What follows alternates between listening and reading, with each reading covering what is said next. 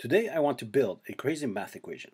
Let's start with a product notation. Ah yes, the fun cousin of the summation. If you aren't too familiar with this intimidating creature, let me give you a quick breakdown. Product, as the name suggests, is a shorthand way of writing repeated sequences of multiplication. So for example, this means this. This is the main term, the function of the formula. This shows you how many times it gets multiplied. And this is the starting index. If, for example, this is 3, then this is how many times we multiply our term. We could also do something like this, which means all of these terms will proceed in sequence, like so. And when multiplied together, all of this becomes a rather big number.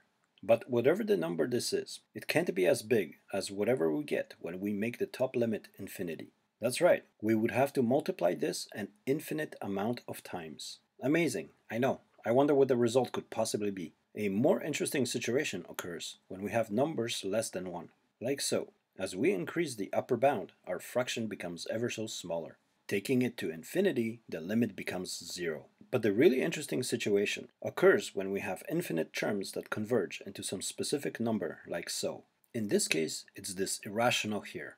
Just think about it for a moment. Multiplying together an infinity of certain numbers will give you some regular finite outcome, which I personally think is really cool. Now check this out. If you switch this to a minus, the result will be 2, an actual whole integer. We can also have something like this, which gives us pi over 2. I myself like this particular design. And when we change those into 2's, we get a really interesting result. Now this is a creation you can do something with. So let's flip this to the other side like so. And the result becomes 1, which is the quantity I prefer to use for these projects. Now I do like this thing, but I just don't think it's intimidating enough. Okay then, let's see what we can do. Square root is a fun little number. Guess what? We can replace it with another product formula. Much better.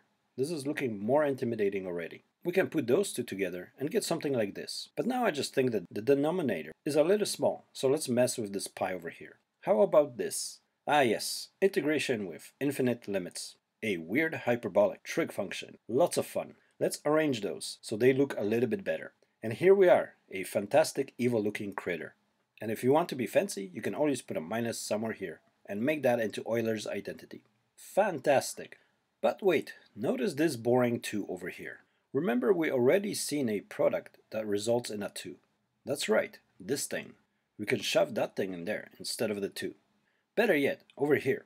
And look, those two are identical. Which means we can just shove this in there because after all, we are just multiplying those two which also means we can reduce this whole thing into this. And here we are. What a nice looking fantastic monster of an equation. With a few small adjustments, you can also make the thing result in pi. I also like to play around with AI graphics. And I created this computer image, featuring that equation. Ah, it's been a while since I did something like this. I used to post them on Instagram. I think it's about time I do that again. I really like the way they look. I think this could make a fun poster. Hope you enjoyed this creation. Like, subscribe, check out my other stuff, and I wish all of you a great day.